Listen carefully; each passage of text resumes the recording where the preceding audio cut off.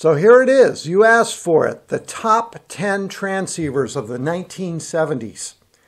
Yeah, we're going to cover all of those classic analog radios uh, that really end the 60s era with tubes, and we start to get into the solid state era.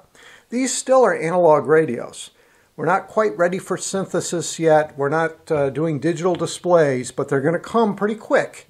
The top 10 list will uh, include a lot of your favorites and probably, for many of you, your first radio. So uh, if you haven't seen the first video, which is the top 10 of the 1960s, I'll put the link below, but uh, you might want to watch that first because the real classic first generation transceivers are covered in that first video. But now we're into the 70s. This is really my era when I in, got into ham radio. And uh, also, you, we're going to have a little bit of CB in this too. Remember, a lot of these radios, uh, they snuck the 11 meter band in on them.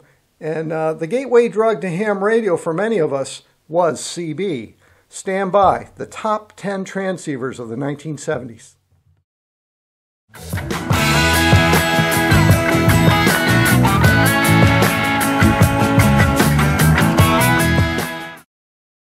Going to cover a lot of radios. And uh, of course, at the end of the 60s, we have radios that are competing mostly on power. I put out more watts with this radio than you put out with that radio.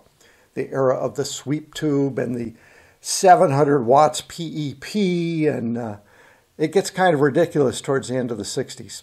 But uh, once we cross that line into the era where we start to have solid state equipment and the Japanese invasion, things are going to change quickly. And suddenly you're going to get more features, more performance, and the price is not going to spike. It's going to remain constant. Now, the American manufacturers had to respond to this, and we're going to talk about what happened there as well. And uh, I've got a couple of classics in front of me here. Uh, certainly the Fox Tango, the FT101, and the, uh, the Trio, uh, Kenwood, TS520, 820, and so on. And of course the California radios like the Atlas. We're going to go through all of this in this video. Welcome to the top 10 transceivers of the 1970s. So the Swan 700 is really the last of the line of the classic 1960 all valve or all tube designs that uh, were so popular. This is a single conversion superheterodyne, both in transmit and receive, and it uses the double plate sheet beam type uh, balance modulator uh, with single conversion and a 5.5 megahertz IF. Um, this is a very quiet and hot receiver. Now, of course, the penalty for a single conversion transceiver is that the VFO has to operate at some pretty embarrassingly high frequencies. Imagine trying to make a simple two transistor VFO work at 22 megahertz. Let's talk about the Tempo 1. This is Yaesu's uh, big, big push into the low cost transceiver market. And uh, this is a crossover rig used by hams, but certainly modified and used by CBers. Uh, the FT200 uh, was marketed as the Henry Tempo 1 it was also sold as the Sommerkamp uh, transceiver. So this was sold all around the world, and uh, this is a very popular radio. Uses the World Radio Labs heterodyne VFO idea. So you don't have a high frequency VFO, you handle that with these heterodyne crystals. So it's very easy to change the uh, the frequency band of this unit just by swapping out crystals, tweaking a couple stages. Suddenly you're in the 11 meter band. Yes, another Yaesu. This is the FTDX 560, 570 family. And if tube count is your game, this is the winner with 20 tubes and uh, a very high power uh, transceiver indeed, and quite a handful to uh, pick up. Uh, this really uh, represents the pre hybrid days, the glory days of tubes. Soon we start to see solid state creep in. But the Yaesu represents uh, really the end of the, the tube era. Um, of course, a lot of the American companies would have tubes, but um, and we'll cover some of them. But uh, this is just a big old transceiver.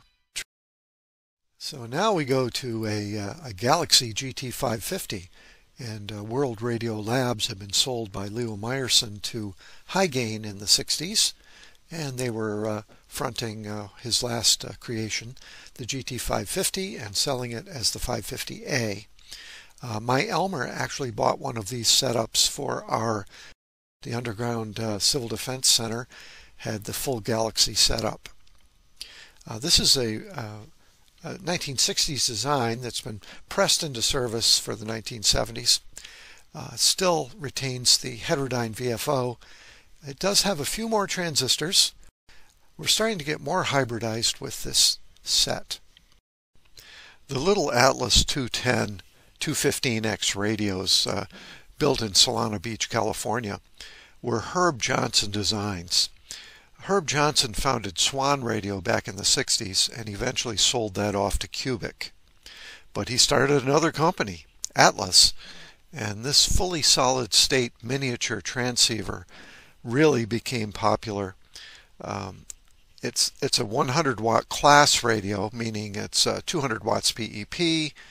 Uh, CW kind of an afterthought, but uh, wonderful little radio, very very popular and uh, later on he would do the 350 XL, which would become their flagship radio.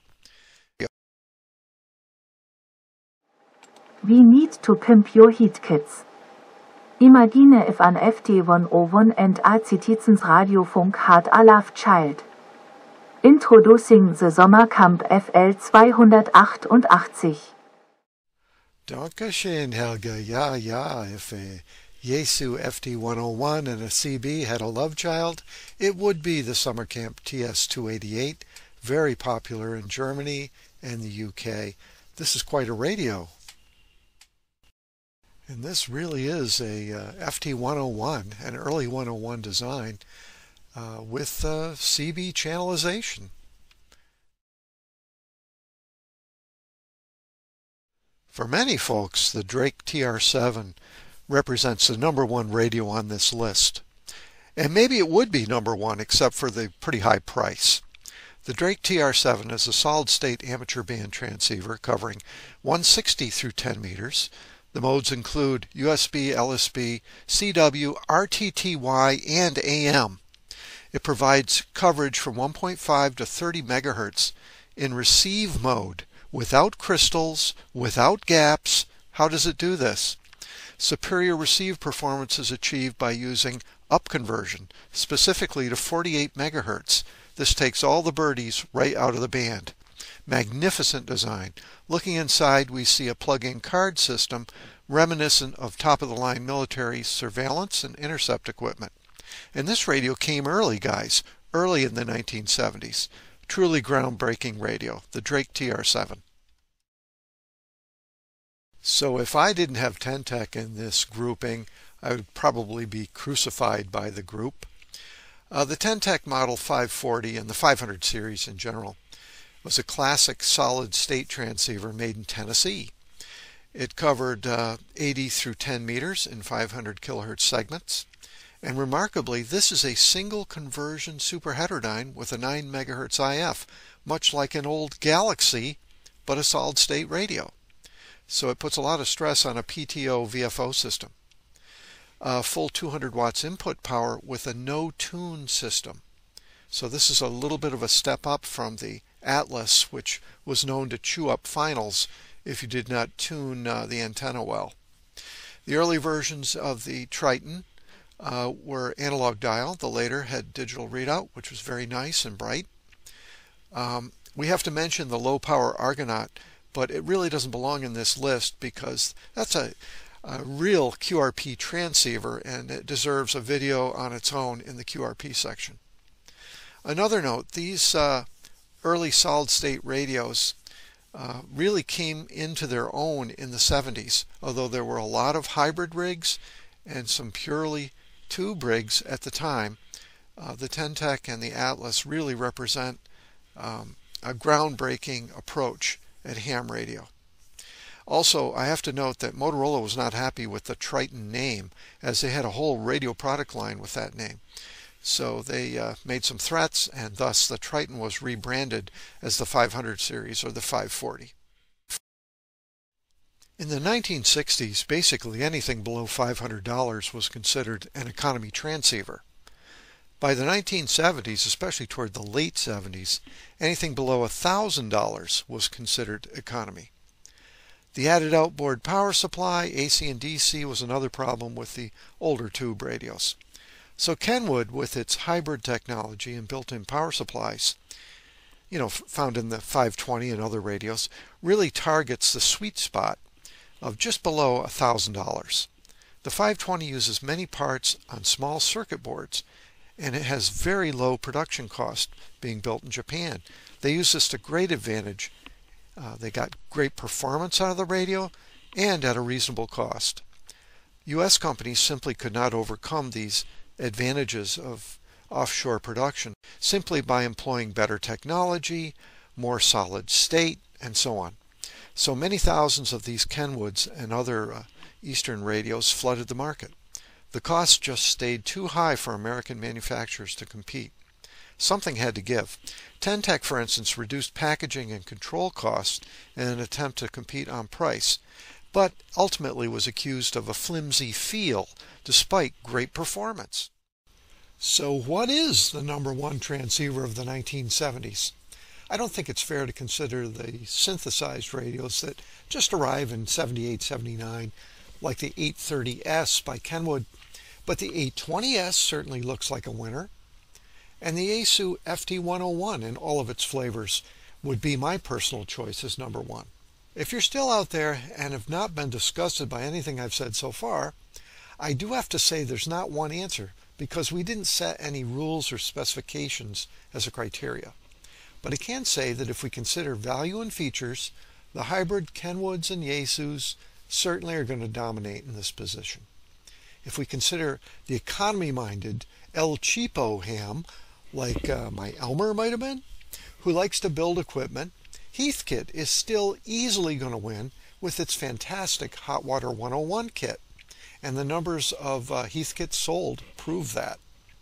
If we're talking about raw technology, power, and so on, then you have to consider those super radios like the Signal 1 and the NCX 1000 and the Drakes.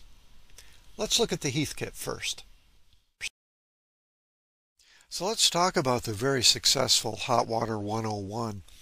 Uh, the 101 was ready for Christmas 1970 and it was produced all the way to 1983, uh, keeping the HW101's price tag down uh, between $249 and no higher than $399 by the end of its amazing run uh, basically, this radio was a lower cost and updated SB100 variant uh, without the Linear Master oscillator, uh, which was what Heathkit called the PTO. Instead, it used a conventional Colpitts with a variable capacitor and vernier, but with a clever hybrid VFO circuit with a voltage regulated FET, followed by a 6AU6 broadband uh, buffer. The HW104, which has the nice digital display, a more modern Heathkit, was supposed to be the 101's direct successor, a response to the Japanese invasion hybrids in the same spirit as Ten-Tec was going. But that 104 really never took off, and it was produced only until 1975, with the 101 living longer. Uh, when I worked for Motorola, I had a colleague, a ham, and he was a great technician. He built one of those HW104s uh, quite expertly, but he was never completely satisfied with that radio. Okay, here's my number one. The Yaesu FT101, another hybrid radio from Japan. Built-in power supplies for AC and mobile use. And this radio dominated the 1970s market. Very popular also in the CB world having the 11 meter band included as well as 160 meters. So right out of the box in 1972 the FT101s were made with uh, plug-in circuit boards that could be sent to the dealer or factory. The Yaesu uh, FT101 uh, was groundbreaking in that it used plug-in modules for the major uh, components. Uh, this made uh, uh, a big splash in the amateur radio community. Um, the ability to use card extenders and to be able to repair the radio uh, with these modules simply by plugging in another module was something that just hadn't been done in the low end commercial side or in many of the ham radios of the 1960s.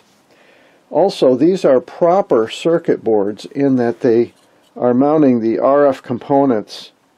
Uh, they're mounting the RF components through a ground plane, and it's a double-sided board with plenty of ground. This is really a step above most of the circuit cards you see in the 60s. I saw my first 101, I think in the 1973 field day, uh, when we had this hippie college professor show up uh, with his pop-up camper with a 101 and uh, compared to the old timers TR3s and the nicotine stained Hallicrafters radios we were using, this FT 101 was a sleek alien spacecraft. So the TS820. This is the third number one radio. Kind of unfair that I've picked three radios to be number one, but I think the 820 you're going to find is uh, probably our real winner. The TS820 is a completely different beast than the TS520. The 520 is a conventional dual conversion superhet with heterodyne mixing, VFO, and so on. The 820 is a single conversion system with an 8.83 MHz IF and it introduces frequency synthesis. Phase noise aside, returning to the many advantages of single conversion was a very bold step for Kenwood, and it makes this set more suited to direct digital display, adding bands, and so on. It uses a conventional 5 MHz VFO and a heterodyne scheme like its forefathers, but this time it's phase compared to a v VCO that drives both the TX and RX mixers. Basically, in this system, the VCO signal is mixed with the heterodyne signal and thereby converted to a signal of 3.3 to 3.83 MHz, common to all the bands. This is further mixed with a carrier to be converted into 5 to 5.5 megahertz. This signal is phase compared with a VFO signal of 5.5 to 5.0 megahertz. The comparison output is thus obtained and returned to the VCO, and that's used to lock it. So this is a pretty sophisticated radio compared to what we've been talking about up to now.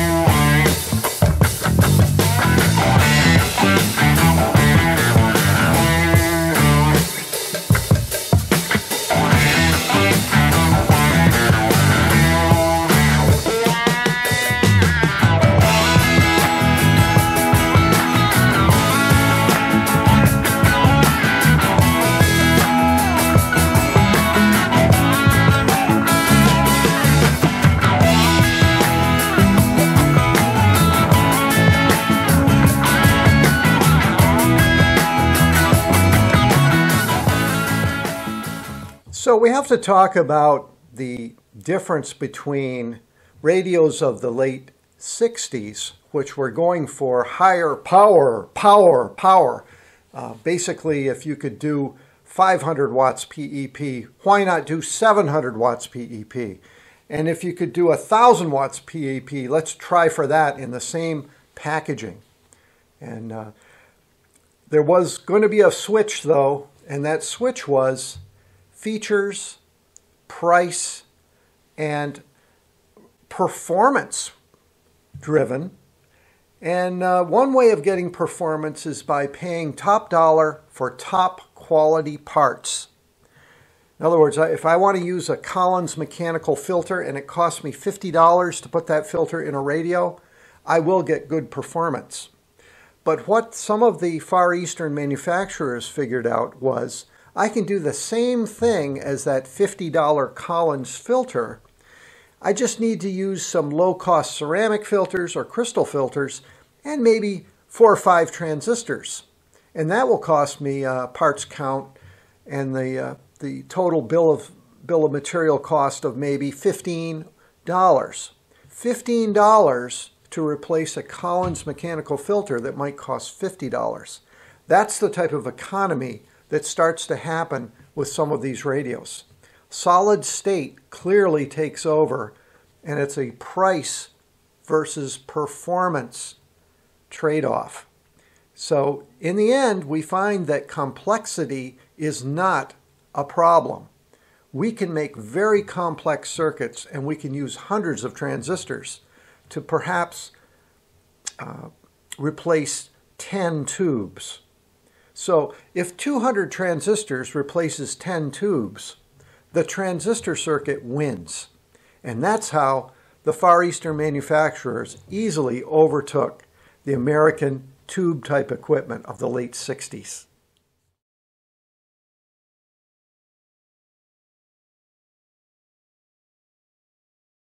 Now, it would be very naive of me to say that these were purely ham radio transceivers. Um, certainly, the FT 101, the Fox Tango, including the 11 meter band, was a big boon to the CBers who wanted to uh, experience higher power. And definitely, more radios were sold to CBers than to hams, actually, with this model. So maybe that's clever marketing, but uh, I can tell you the gateway drug to ham radio for many was through CB, and in particular through this transceiver and types like it, like the Siltronix.